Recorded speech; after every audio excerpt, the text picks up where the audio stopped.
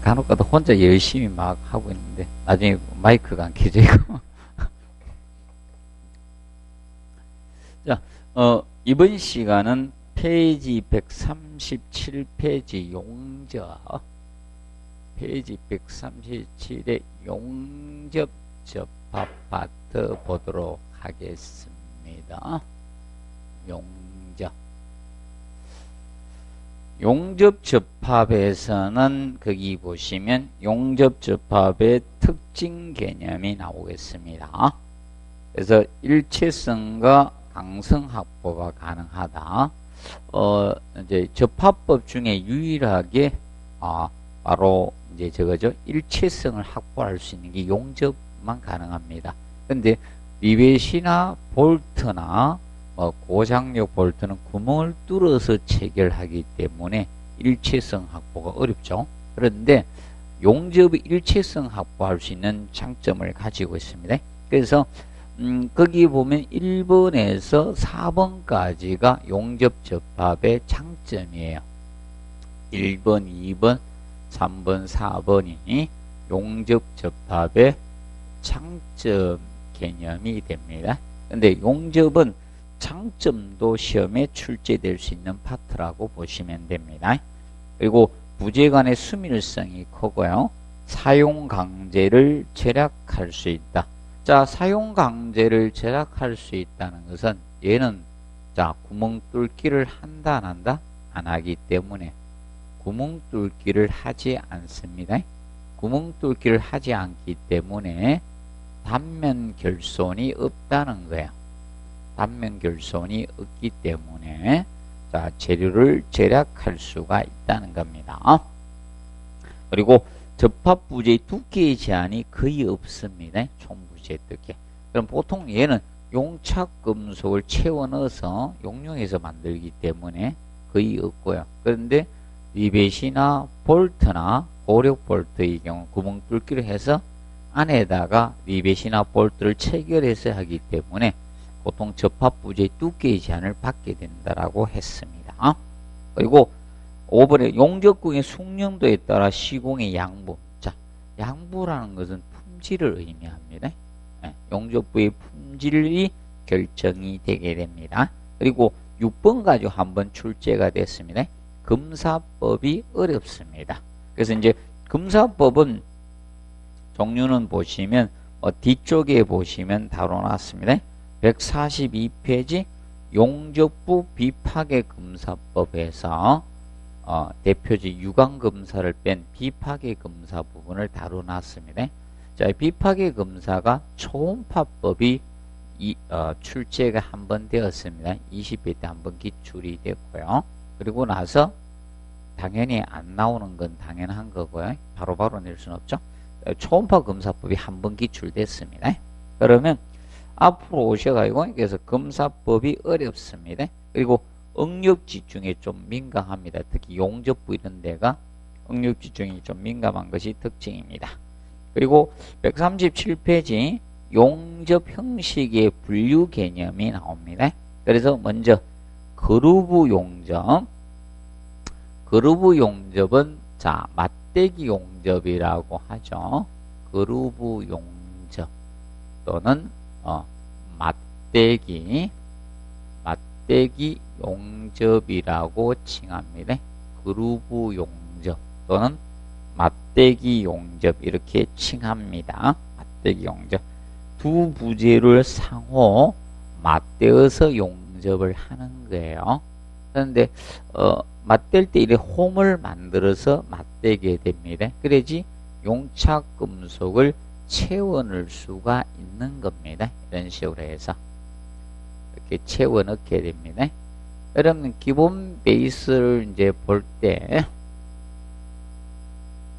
이렇게 볼 때 그러면 어 여기 이제 이때 이 홈을 갖다가 어 이 입칠 그림 힘드니까 일단 초반에는 그래서 이렇게 해서 여기 홈을 만듭니다. 이 홈을 그루브라고 하는 거예요. 이 그루브, 그루브, 홈을 또는 개선이라고도 하고 앞벌림이라고도 합니다. 얕벌림. 그래서 이제 얕벌림 이렇게 칭하는데 두 부재 사이 용착 금속을 채워 넣는 홈입니다. 두 부재 사이에 용착 금속을 채워 넣는 홈이죠. 용착 금속을 채워 넣는 홈. 넣는 홈을 그루브라고 칭합니다. 그루브. 그루브로 칭하고 이때 용착 금속을 이 안에다가 채워 넣게 됩니다. 그럼 이때 이 각도를 어 이걸 홈의 각도라고 하죠. 그것을 홈의 각도 또는 뭐 개선 각도 이렇게 칭하는 거죠. 개선 각도 이렇게 칭하는 겁니다. 그러면 여기다가 어, 이 홈의 밑부분을 루트라고 해요. 이 부분을 루트라고 합니다. 루트는 홈의 밑부분이죠. 그루브 홈의 밑부분을 어, 루트라고 칭합니다. 루트. 이때 두 부재 사이의 트임새 이것을 루트 간격이라고 표현을 하는 거예요. 루트 간격 이렇게 표현을 합니다. 루트 간격.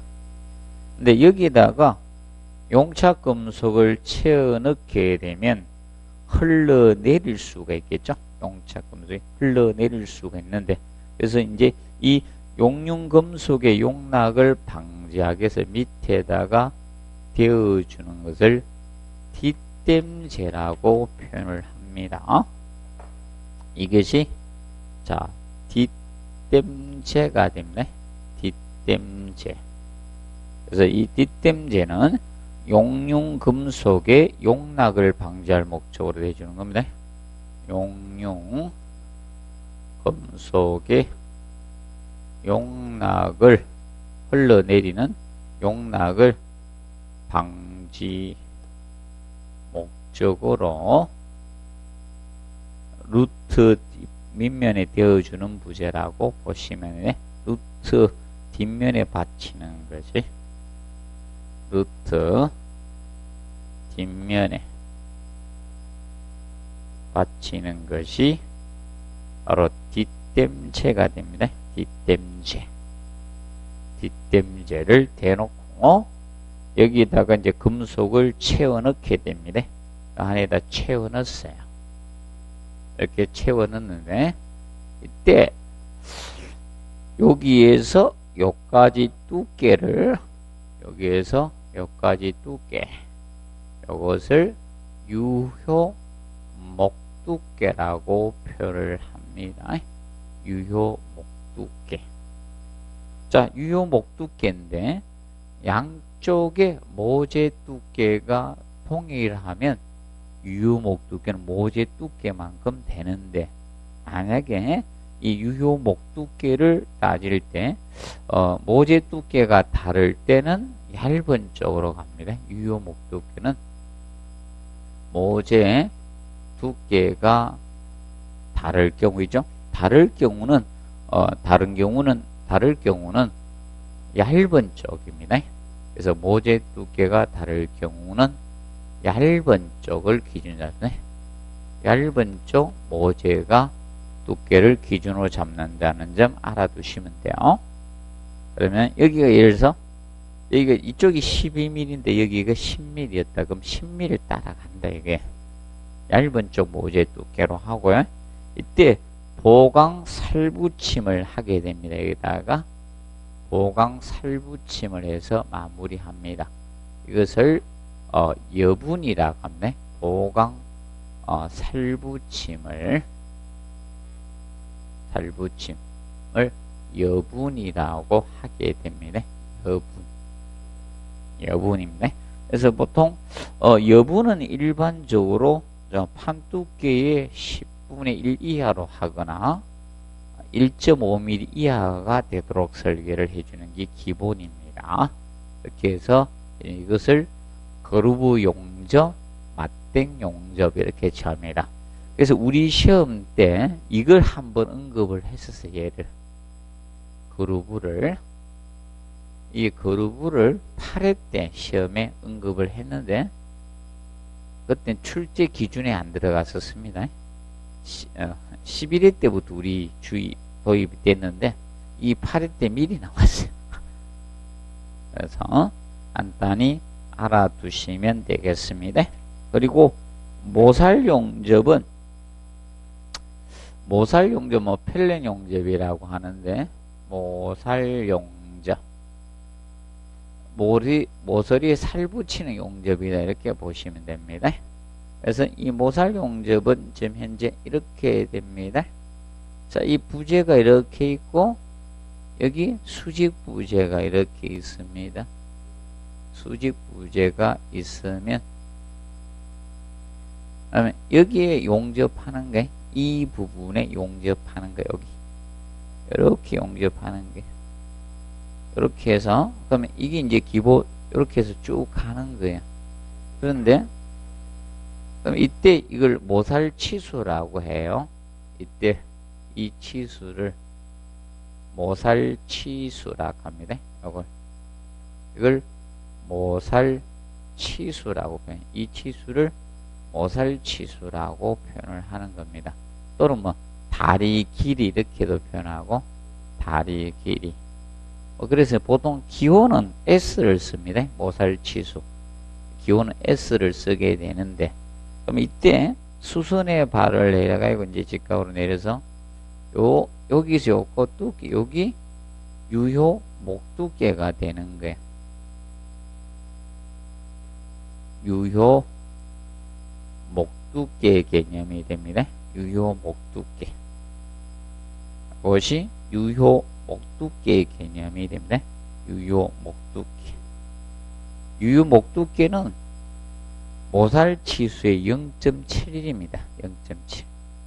그래서 0.7S라고 보면 돼. 0.7배. 다리 길이의 0.7배의 개념이 됩니다. 0.7배.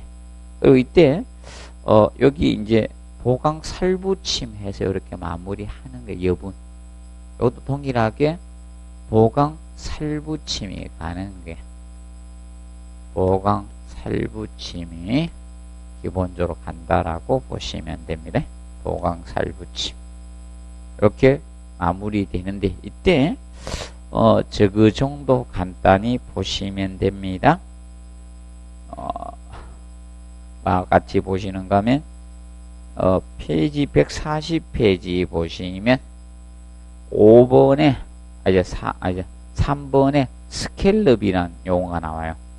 용접선의 교차를 피하기 위해서 한쪽 부재에 설치한 홈, 이 scallop인데, 자, scallop의 개념 바로 이거예요. 자, 여기 다른 부재가 이렇게 오게 됩니다. 이렇게 부재가 또 오게 되면 이 용접은 계속 진행을 해야 되는데 여기도 부재가 있기 때문에 이렇게 용접을 할 수가 있다는 겁니다. 뭐 판을 대거나 이러면 그러면 이 용접선이 이제 교차를 방지하기 위해서 여기다가 이렇게 홈을 미리 만들어 놓는 거예요. 홈을 이렇게 만들어 놓으면 이 용접선이 어떻게 쭉갈 수가 있잖아요. 이런 식으로. 이렇게 용접선이 쭉 지나갈 수 있겠죠. 그래서 그래서 이제 이, 이 홈을 뭐라 한다? 스켈럽이라 하겠다 이게. 스켈럽. 스켈럽은 용접선의 교차를 피하기 위해서 설치하는 홈입니다. 그래서 이거하고 헷갈리면 안 된다. 그래서 이거는 용접선의 어, 교차를 피하기 위해서 교차를 피하기 위해서 피하기 위해서 한 부재에 설치하는 홈이에요. 홈 개념이 스켈럽 개념이고 스켈럽. 그래서 이제 간단히 구분 좀 해서 정리를 해 두시면 되겠습니다. 그래서 페이지 거기 보면 139페이지 상단에 보시면 자 절단미 개선 그루브 가공에 대해서 해놨습니다. 그래서 이제 어, 절 어, 에서 알아두실 것, 뭐, 1번은 당연한 말이고, 그 다음에 2번에 용접시 교차 부분이나 한 부지에 다른 부지 접착시킬 때 불필요한 접촉을 피하기 위해서 모퉁이 따기를 하는데 이때 어떻게 하라? 10mm 이상 둥글게 해야 된다 했죠? 그러면 이제 이 모퉁이 따기를 하겠다는 거죠? 이렇게 둥글게 모퉁이 따기를 만드는데 이걸 뭐라 했다? 스켈럽이라 했죠? 그래서 거기 3번에 보시면 스켈럽 가공은 절삭 가공기나 부속 장치가 달린 수동 가스 절단기를 사용해서 가공하라는 겁니다. 그래서 보시고 그래서 이제 어 기본적으로 알아두실 거 그래서 이제 4번하고 헷갈리면 안 돼요. 가스 절단할 때는 원체 자동 가스 절단기 사용하고 그러면 이제 형광이나 이런 거 있죠. 그냥 절단할 때 여기서 이렇게 형광 부재를 이렇게 절 강제를 절단하고자 할 때는 기본 어, 자동 가스 절단기 사용해서 하면 된다는 겁니다. 자동 가스 절단기로 절단하면 되는데 뭐 가공에 있어서 스케일러 가공할 때는 이 원형으로 이렇게 가공을 해 주셔야 됩니다. 그 스케일러 가공은 절삭 가공기나 아니면 둘 중에 하나라 부속 장치가 달린 수동 가스 절단기를 사용해서 가공을 해주라는 겁니다. 가공을 해주자. 그 측면 보시고 그 다음에 이제 5번 용접 보수의 전체 길이가 모재 단부 길이의 몇 포를 초과했을 때 체크하십시오. 20포로 초과하는 경우는 다른 재료로 대체를 해주라는 겁니다. 대체. 20포로 초과할 때는 다른 대체로 해주시고 그 다음에 용적 결함의 종류가 나옵니다. 용적 결함 종류. 자, 16회 때 냈었어요. 16회 때는 용적 결함의 종합 문제로 냈어요. 열거하는 형태로 냈고요. 그 다음에 20회 때 나왔었어요. 20회 때는 이 결함이 무엇입니까? 묻는 거. 쭉 서설 해놓고 이 결함이 무엇입니까를 물었어요. 그때 오버랩을 묻는 걸 했어요. 오버랩. 그러면 앞으로의 시험 문제에서는 이렇게 그러면 당연히 앞전 시험은 없는 게 기본 베이스입니다. 21회 때는. 네, 앞에 내면요. 다음에는 거의 없습니다.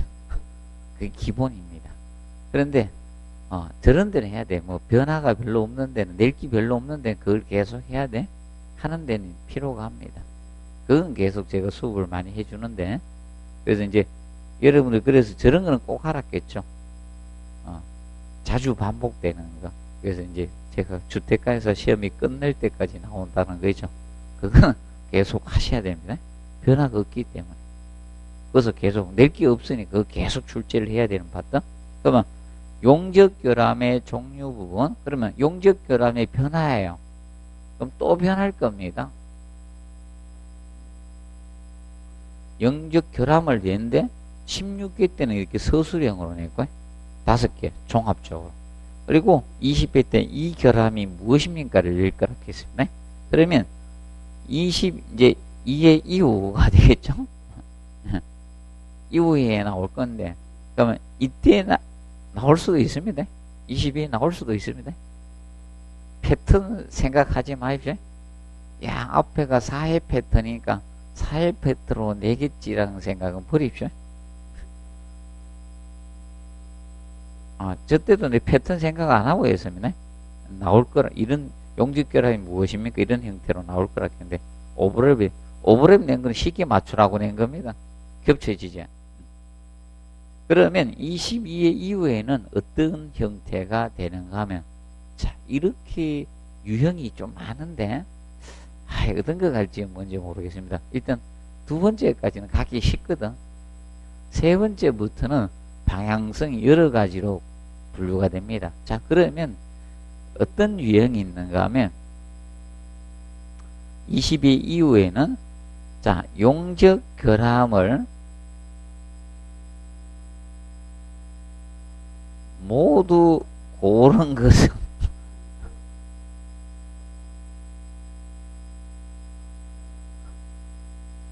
모두 고르라는 유형을 낼 가능성이 있습니다. 모두 고르세요. 그러면 여러분 어떻게 고르시는가 하면 이겁니다. 그럼 앞에서 다른 거 있죠. 아 이런 것도 고르면 안 돼요. 막 그루브, 막 루트, 이죠? 어, 저 금방 봤던 뭐 어딥니까? 스케일러 이런 거 고르면 안 되는 거야. 그리고 이제 어 그래서 이제 좀 주의하실 거는 일반 용접 용어적인 측면하고 결함하고 헷갈리면 안 됩니다. 그럼 반대로 낼 수 있어요. 용접 결함에 해당되지 않는 것은 이렇게 낼 수도 있는 거고 용접 결함을 모두 고르세요. 이거 난이도를 조금 조절해가 낼 때는 용접 결함을 모두 고르세요. 이렇게 낼 겁니다. 그래서 올해는 고르세요 문제가 꽤 많아질 가능성이 있어요. 모두 고르세요 문제가 아마 네 문제에서 여섯 문제 사이가 될 가능성도 있어요. 조금 많아질 겁니다. 작년보다. 작년에 이제 모두 고르세요 문제를 좀 많이 냈습니다. 조금 냈는데 조금 증가할 가능성이 아니겠나 봅니다. 그리고 올해는 열심히 조금 공부하세요.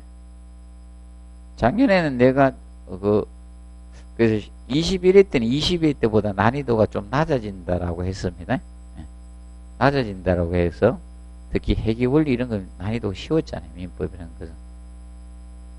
굉장히 쉬, 쉽게 파고 다 난이도 조금 낮췄습니다. 그러면 올해는 난이도를 조금 조절할 가능성이 있다라고 보세요. 그러니까 2차에서는 어, 난이도를 너무 조절해가지고 실패했거든. 그럼 1차 난이도를 조금 하고 하는 거 준비를 한번 할 겁니다. 상대평가 가기 전에. 그래서 1차 난이도를 조금 올릴 가능성이 있다. 크게는 팍 올리면 안 돼. 너무 올리면 합격생이 안 나옵니다. 얘들 난이도 조절할 줄 잘 몰라가지고 조금 높여버리면요. 안 나와. 합격생. 앞전에도 그 난이도 낮춰도 합격생 별로 안 나왔습니다. 이는.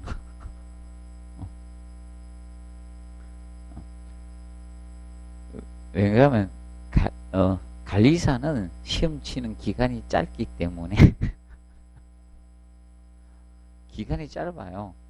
10월 달, 11월 달에 시험 치는 게 아니기 때문에 빨리 치기 때문에 이걸 간파를 못 하는 거예요.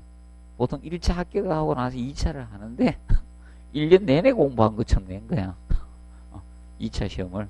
그러니까 안 되는 거죠. 뭐 2개월만 딱 공부하고 가서 시험 치는 사람들한테 1년 풀로 수업한 것만큼 내한이들 내는 거야. 그러니까 합격이 안 나오는 겁니다. 자기네들 생각은 틀려지는 거야. 그리고 우리는 보통 뭐가 됩니까? 7월 달에 시험을 치니까 짧아. 뭐 조금 하다 보면 시험 치러 바로 갑니다. 그렇기 때문에 그걸 빨리 간파를 못해. 그래서 출제 오류가 있는데 중개사는 1년 내내 공부하고 가가지고 이제 시험 치거든요. 같이 시험 치니까. 자, 그래서 거기 보실 거, 자, 그래서 용접기 언더컷이 나옵니다. 그래서 용접금속이 홈에 완전히 채워지지 않는 것이 무엇이다? 언더컷 개념이 되면 그래서 특히 가장자리 부분이 남는 게 가장자리가 그리고 어, 슬래그 섞임은 슬래그는 찌꺼기입니다. 그래서 어, 이 어, 슬래그가 자, 섞여 있는 것 이것이 슬래그 슬래그는 슬래그가 나와야 돼요. 슬래그 섞임은. 그리고 블로홀 블로홀은 우리나라 말로 하면 공기마다 구멍이에요. 공기 구멍. 공기 구멍이고 블로홀은 음? 블로홀은 자 용접 내에 기포가 생기는 건데 자 이 가스가 방출될 가스가 남아서 안에서 뭐가 생겼다? 기포가 생긴 거예요. 얘가 가스가 그냥 위로 올라가야 되는데 수소가스 이 위로 올라가야 되는데 여기 이제 남아서 이렇게 생기는 게 내부에 이 가스가 방출돼야 되는데 방출되지 않고 남아서 생긴 게 뭐다? 예, 블로홀입니다. 블로홀. 방출 가스가 남아서 생기는 겁니다. 그러면 이때 이것이 위로 올라오면서 5번 있죠? 용접 표면에 생기는 작은 구멍이야. 얘가 볼롤이 올라오면서 탁 터졌는데 위에 표면에 작은 구멍이 생겼어요. 표면에 작은 구멍이 생기면 이것은 뭐다? 피트. 볼롤이 부상하면서 가스가 탁 터졌을 때 생깁니다. 오브렘은 모재 완전히 붙지 않고 겹쳐져 있는 것을 뭐다? 오버랩이라고 하고 그 다음에 자 PCI는 PCI라는 것은 PCI는 은점이라고도 하고요. 자 이거는 볼홀이 기포가 몇 개가 겹쳐서 지름 2, 3이 커진 거예요. 커졌는데 그 생긴 모양이 생선 눈알처럼 생겨서 PCI라고 칭해진 겁니다.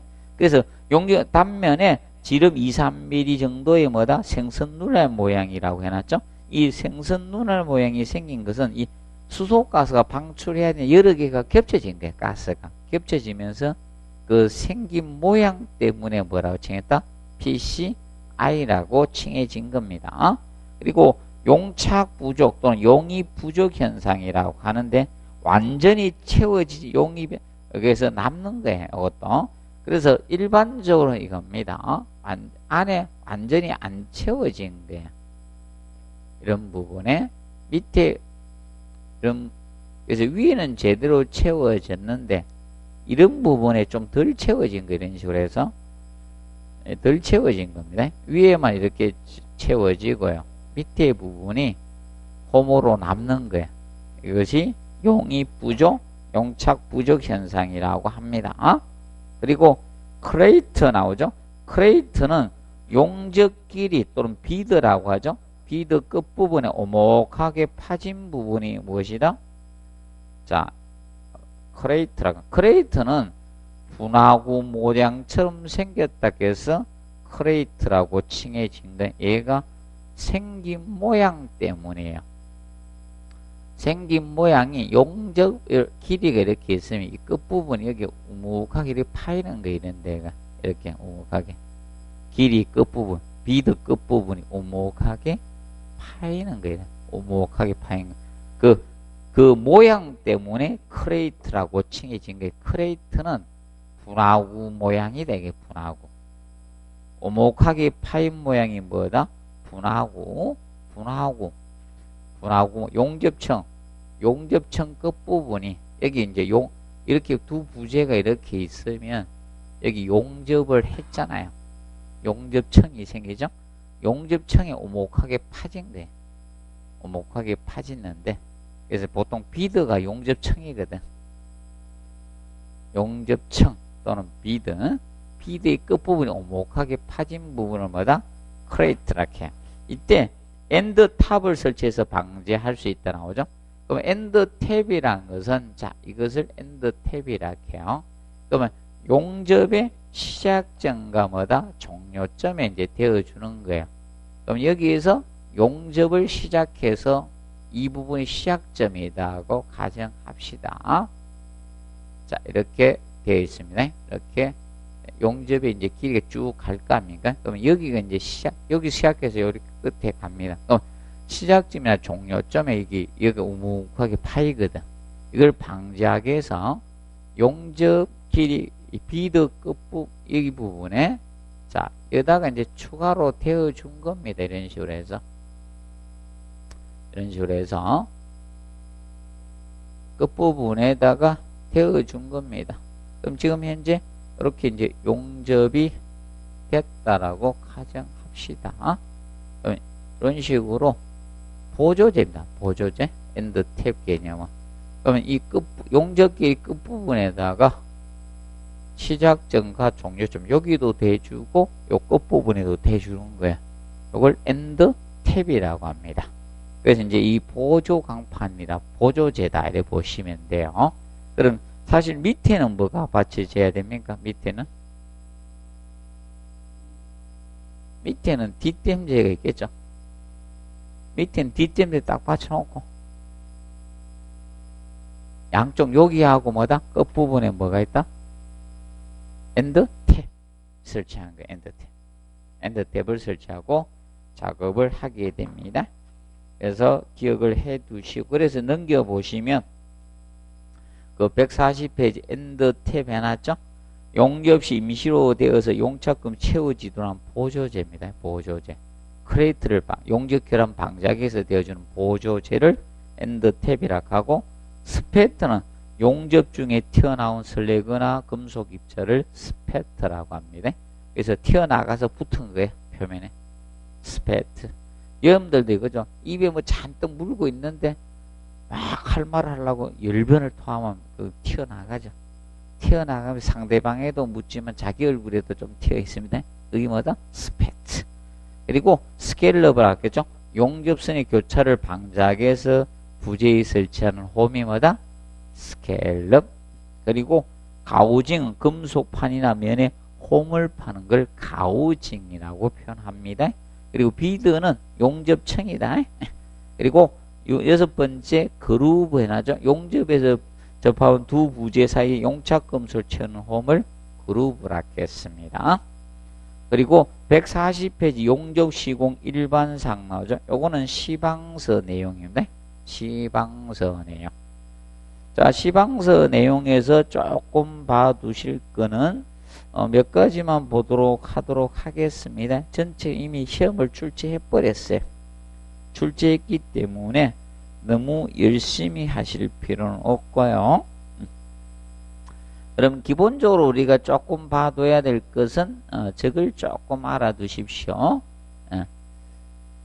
어, 거기 보면 뭐 5번 이런 거 냈어요. 5번 이런 건 출제했기 때문에 자 7번 책까지 자 아크 용접할 때 아크 용접 많이 하는데 아크 발생은 이 용접부 뭐다 네 책까지 내에서 일어나도록 해 주셔야 됩니다. 7번 책 가지고 그다음에 8번 스케일럽이나 각종 브래킷 등 제편의 모서리에서 끝나는 필렛 용접 fillet 용접이 뭐다? 모살 용접 적어놓으세요. fillet 용접이 모살 용접이에요. 모살 용접 fillet 용접이 모살 용접인데 모살 용접은 크레이터가 발생하지 않도록 크레이터 아까 배웠죠? 크레이터가 용접 맞죠?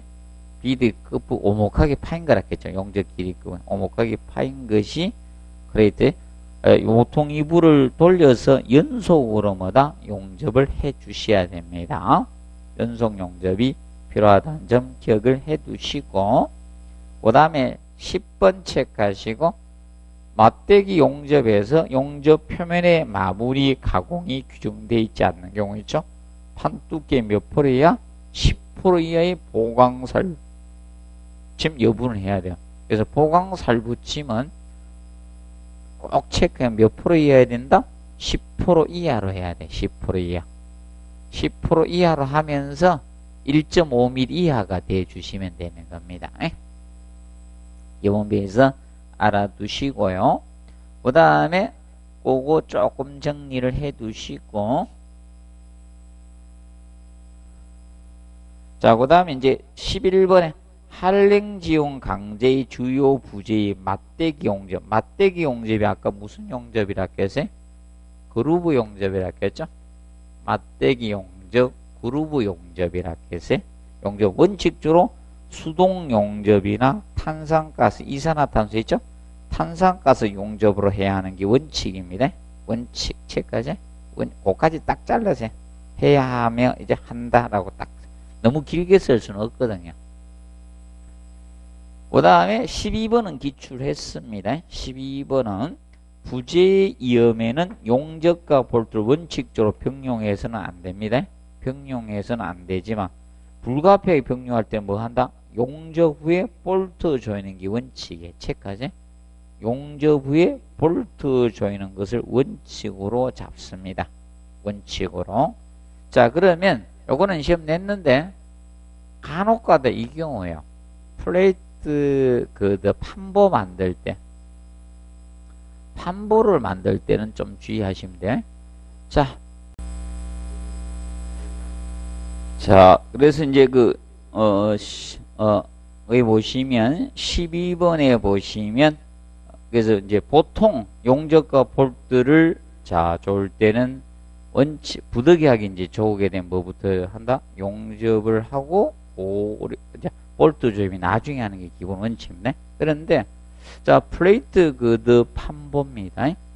굉장히 크게 만들 때, 자, 외부를 고장력 볼트 접합을 하고, 접합을 하고 프렌지를 용접 접합을 하는 이런 이중 접합을 한다. 프렌지를 용접 접합을 하겠다는 겁니다.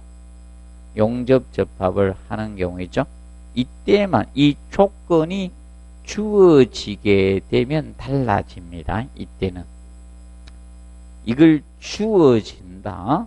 웨버를 고장력 볼트 접합을 하고 프렌지를 용접 접합을 하겠다는 조건이 주어지면 이 경우는 고장력 볼트를 먼저 체결합니다. 이 경우가 예입니다. 이런 경우는 고장력 볼트를 먼저 체결합니다.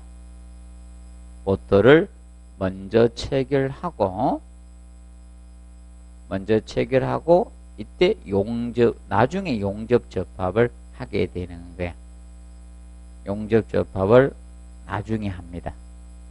이 경우 조건이 주어지면 이건 조금 주의해서 접근을 해 주시고 그래서 좀 주의해 주시면 되겠습니다. 그래서 여기 141부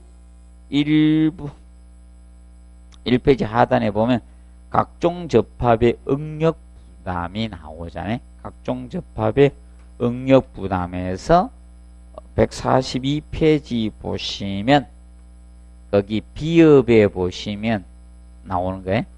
단 고력 볼트를 먼저 체결 후에 용접을 했을 때죠. 각기 허용력 분담한다 나오죠. 이게 예외예요.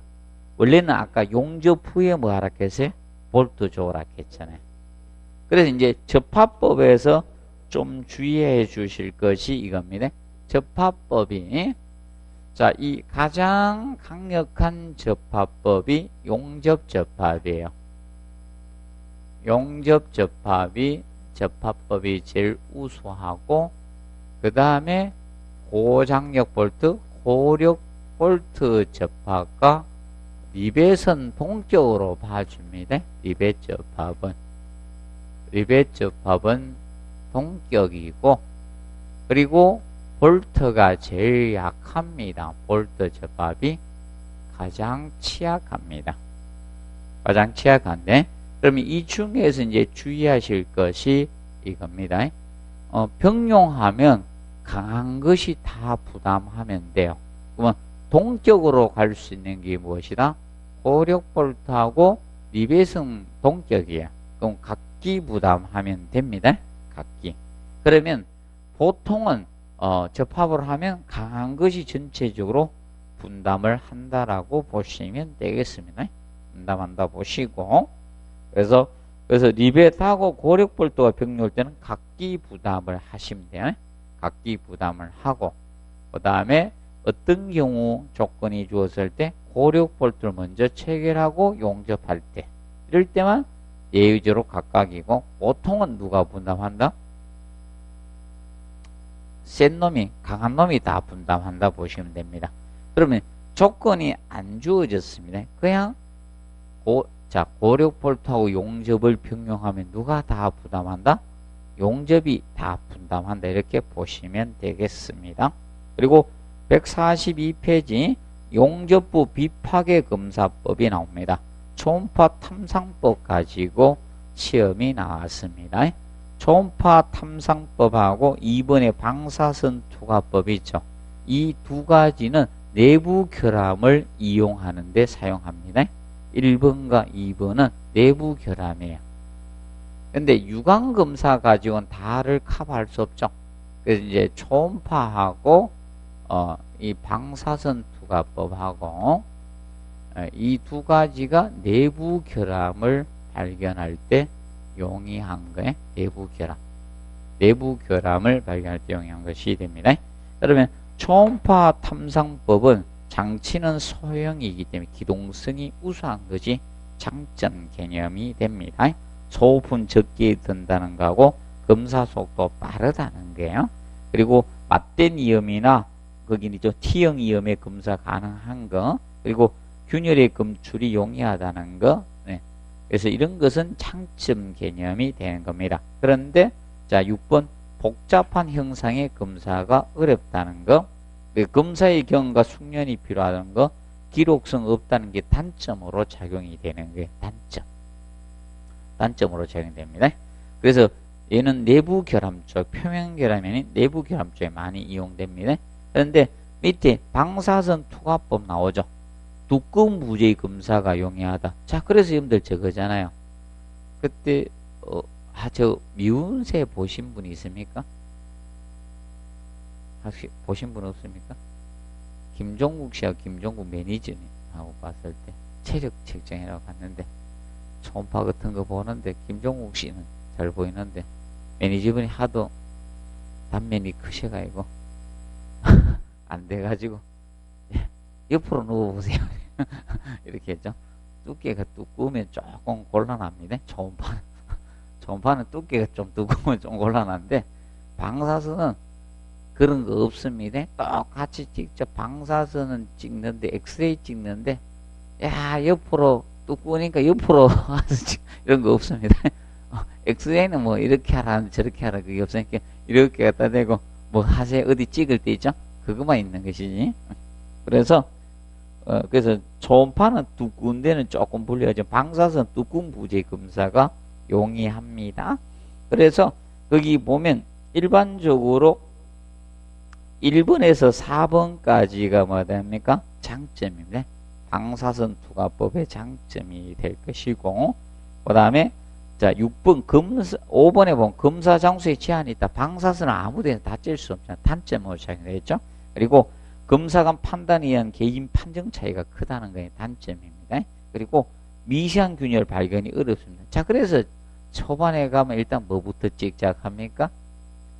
아파서 갔다 이러면 이제 뭐부터? 엑스레이부터 찍습니다. 맞죠? 그래서 저도 딱 가니까 일단 엑스레이 찍으니까 어, 엑스레이에 안 나, 잘안 보이는 경우도 있다. 엑스레이 보이는 것도 있고, 안 보이는 것도 있고, 그러니까, 어, 뭐 하자고 합니까? 초음파로 가요. 근데 초음파가 이제 가서도 이제 잘 안 되면 어떻게 됩니까? 다른 걸로 가죠. 아, 딴거 해봅시다. 이랍니다. 아니면 초음파도 이제 방법, 이제 다른 거 찍을 때 이제 조영제를 넣어가지고 하는 방법이 있죠. 조영제를 넣어야지만 잘 보이고 이런 게 있죠. 그래서 제가 조영제를 한 번도 안 맞아봤거든요. 그래서 한 번도 안 맞았어요. 이런 거한 번도 안 찍었으면 그래도 저는 유일하게 해본 게 초음파입니다. 초음파도 근육 떨어져서 딱 한 번 해봤거든요. 딱 한 번 해봤습니다. 이번에 초음파 두 번째입니다. 이렇게 아, 조영제 한 번 해가 뭐 한 번 해보자. 확실히 조영제를 투여하니까 찍으니까 다시 이제 이렇게 보이더라고요. 그래서 어, 보시면 그래서 이제 이 방사선 가지고는 미세 균열 발견하기는 굉장히 어렵다는 겁니다. 자 그리고 자기 분말 탐상법하고 침투 탐상법이죠. 이 3번, 4번이 이거는 표면결함 쪽에 유리합니다. 표면결함. 표면결함이나 아니면 표면직화 바로 밑에 이런데 표면 쪽에 가까운 결함을 발견할 때 유리한 것이 자, 이 두 가지 형태라고 보시면 됩니다. 그래서 어, 그 자기 분말 탐상법의 용접부 표면이나 표면층의 결함, 표면 주위 결함이나 표면 직화 바로 밑에 직화, 직화의 결함 등의 검출이 가능하다. 자는 그래서 장점이죠. 그래서 그리고 육안으로 나타나는 균열이나 흠집 표면 부분 있죠. 를 체크할 때 유리하다 이겁니다. 그런데 어, 3번하고 4번이 단점이죠. 용접 부위의 깊은 내부 결합 분석이 미흡하다는 거 그리고 기계 장치가 대형이 돼요. 이 단점으로 작용이 됩니다. 그리고 침투 탐상법 나오죠. 그래서 1거는 어, 검사가 간단하고 넓은 범위의 표면 검사에 편리한 것이 침투 탐상법이 됩니다. 그런데 어, 어 거기 거기 4번 있죠. 이게 단점입니다. 내부 결혼 검사가 불가능하다는 거. 이것이 단점입니다. 그런데 아까 자기 분말은 표면 치카도 가능해. 바로 밑에 정도까지는 가능하다는 겁니다. 그래서 간단히 기억하고 그러면 올해 시험은 자 여기서 혹시 냈다. 혹시 내게 되면요. 뭐 다른데 과연 더 갈까 아니면 더 가는 것보다 제가 보기에는 이겁니다. 자, 용접부 비파괴 검사법을 도둑 보르세요 아니면 해당되지 않는 걸 찾으라는 가능성이 높아요. 제가 반대로 간 것 같아요. 제가 먼저 초반에 다룰 때 그냥 이거 어 자 뭡니까 해당되지 않는 걸 찾으라를 냈었는데 반대로 갈 가능성이 높습니다. 초음파 딱 내놨으니까 열심히 뭐 자, 어, 앞으로 공부할 겁니까? 방사선 부가법이나 자기 분말 탐상법 이런 걸 공부할 겁니까? 그래서 종류로 갈 가능성이 높습니다. 그래서 탐상법이 들어가야 뭐가 들어간다? 탐상법 세 가지잖아요. 초음파 탐상법, 자기 분말, 자, 그래서 이걸 줄여서 자탐법이라고도 합니다. 자탐법. 그래서 이제 이 자기 분말 탐사를 그 자분 탐상법 이렇게도 하고 아니면 자탐법 이렇게도 하고 그래서 이제 자, 어, 그래서 그 앞자 따서 있죠. 자분 탐상법 이렇게도 쓸 수 있어요. 그러면 자, 이 탐상법이 세 가지가 있고 그 다음에 투과법이죠. 방사선 투과법이 있다는 거죠. 기억을 좀 해 놓으시면 됩니다. 그래서 혹시 다른 거 나오면 좀 헷갈리지 않도록 조금 해 놓으시면 됩니다. 그리고 도장 및 도금적인 측면은 자 여기는 한 번 출제가 되었습니다. 한 번 기출됐고 그래서 도장의 배합 비율 하면 무조건 기억하세요. 무슨 비? 질량비로 가요. 도장은. 도장은 무슨 비다? 질량비란 걸 꼭 기억하시고 건조 시간은 어, 도막 양생 시간을 의미합니다. 도막 양생 시간이고요. 그래서 온도 20도, 습도 75%일 때 당 공정까지 최소 시간이 건조 시간이 그래서 무슨 시간이다? 최소 시간. 당 공정까지 최소 시간을 자 건조 시간, 도막 양생 시간을 건조 시간이라고 합니다. 도막 양생 시간입니다. 양생 시간을 건조 시간이라고 칭합니다. 어? 그리고 넘겨 보시면 그래서 4번의 가연성 도로의 보관 장소는 전용 창고 보관이 원칙입니다. 전용 창고에 보관하자. 그리고 어, 뭐, 뭐 바닥 만들기 뭐 바닥 면처리 부분을 다루고 있는데 뭐 이거는 당연한 거죠. 녹이나 유해의 부착물 이런 것은 뭐 해야 됩니까? 구도막 같은 것은 제거를 해야 되겠죠? 기본 베이스죠? 제거를 하라는 겁니다. 그래서 이런 건 맞게 나옵니다. 틀리게 나오지 않으니까 그대로 보시면 되겠고 그 다음에 7번에 보면 환경 기상적인 측면에서 우리가 공부해 둘 거. 자 그래서 145페이지 그래서 온도가 몇 도씨 미만? 저온 낮은 온도가 5도씨 미만입니다. 습도는 몇 퍼센트? 85%입니다. 초가. 그런데 무기질 아연말 도료가 나오면 이때는 90%가 됩니다. 90%. 무기질 아연말 이런 조건이 주어지면 그때는 90% 초과가 5시 기준이 된다는 점 알아두시면 됩니다. 자 그리고 마감도료의 조색. 조색이란 것은 이걸 초색이라고 해요. 자 여러분들이 기본적으로 원하는 희망하는 색을 얻기 위해서 색을 갖다가 혼합해서 만드는 작업을 뭐다? 초색이다. 이겁니다. 초색. 그래서 옛날에 파레대에다 물감 가지고 뭐 했습니까? 원색의 아닌 색을 만들 때는 조합을 했죠? 맞죠? 색을 조합하는 걸, 혼합하는 걸 뭐라 한다? 조색이라 이렇게 보시면 돼, 쉽게. 조색. 자, 그 다음에 도장하지 아니한 부분 나옵니다. 마감된 금속 표면에 별도의 지식 없는 도금된 표면이나 스테인리스가 여기는 녹슬지 않죠. 이럴 때는 어, 도장할 필요가 있다 없다? 없다는 것이고 그다음 움직이는 품목들은요 도장할 필요가 없습니다. 움직이는. 그래서 여러분들 자 봅니다. 자 기차 바퀴 도장 해 놨습니까? 안 해놨습니까? 기차 바퀴 할 필요 없죠. 계속 움직이고 있는데 녹슬 여가 없죠. 그래서 철로도 달리는 철로 녹 하나도 안 슬죠.